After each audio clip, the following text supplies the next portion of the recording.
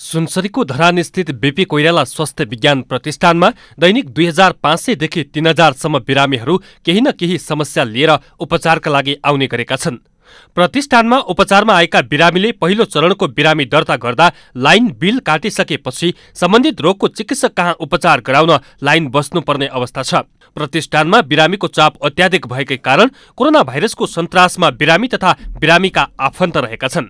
हो होइन? यहाँ हस्पिटल आएको भिडभाड छ मास्क पनि छैन कसैले लगाएको होइन? यो नम्बर सिस्टम पनि गोलमाल छ। फैलिने चाहिँ धेरै सम्भावना छ होइन? भिडभाड भयो मास्क छैन बिरामीको होइन के हो कसो सरकारले अलिकति व्यवस्थित गर्नु पर्यो बिपीले पनि यहाँको एडमिनिस्ट्रेसनले व्यवस्थित तरिकाले चाहिँ गर्नु पर्यो। पच्चिसजनाभन्दा बढी भेला नहुने भने त यही छ साठी सत्तरीजना गाह्रो पर्यो। सरकारले सार्वजनिक स्थलमा पच्चिसजना भन्दा बढी भेला हुन नदिने निर्णय अस्पतालमा लागू हुन नसक्ने अवस्थामा छ। प्रतिष्ठानले थेग्न नसक्ने चापलाई बेलैमा नसोचे कोरोनाको संक्रमण अस्पतालबाटै हुन सक्ने सम्भावना बढेर गएको स्थानीयको भनाइ छ। कमसेकम एउटा नम्बरिङ सिस्टम बाहिरबाट चाहिँ एउटा राखिदिएदेखि एक एकवटा इन्ट्री गराउँदा चाहिँ अलिकति राम्रै हुन्थ्यो। अहिले हामी आफैले यहाँ अब अस्तव्यस्त छौँ। पेसेन्टहरू थुप्रै छ। अब कसैलाई यहाँ सम्भावित कोरोना भइदिएको अथवा भएको भने हामी सबै दुर्घटनामा पर्ने अवस्था चाहिँ छ।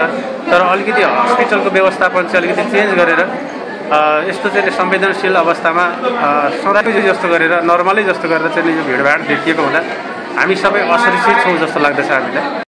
त्यसो त प्रतिष्ठानमा कोरोना संक्रमण फैलिन नदिन त्यहाँ आएका बिरामीलाई सहज रूपमा उपचार गराउन प्रतिष्ठानका अस्पताल निर्देशक प्राध्यापक डाक्टर गौरी शङ्कर शाहको संयोजकत्वमा विज्ञ टोलीको सहभागितामा ऱ्यापिड रेस्पोन्स टिम समेत गठन गरिएको छ। प्रतिष्ठानले कोरोना संक्रमण रोक्न प्राथमिकतामा राखेर काम गरे पनि बिरामीको अत्याधिक चापलाई कम गर्ने उपाय भने अहिलेसम्म तयारी गरिएको छैन।